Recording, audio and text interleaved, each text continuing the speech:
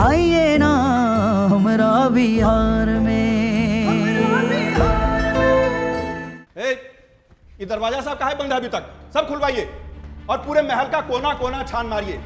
एक एक कमरा, किचन, बाथरूम सब चेक करिए और सबसे पूछताछ करिए।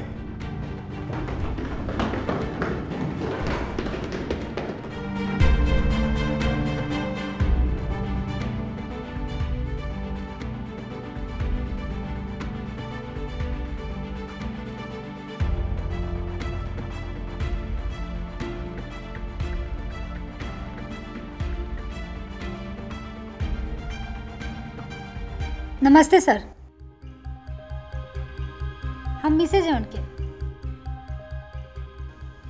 आप पहली बार घर आए हैं चाय ज़रूर पी कर जाइएगा। हम चाय नहीं पीते।